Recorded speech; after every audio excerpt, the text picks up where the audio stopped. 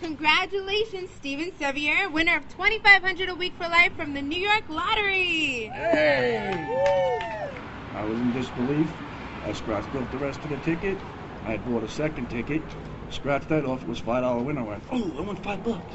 I kept looking at the ticket, looking at the ticket. Couldn't believe it. Walked in the kitchen, kept back coming in, threw it on the counter, went upstairs and got my son.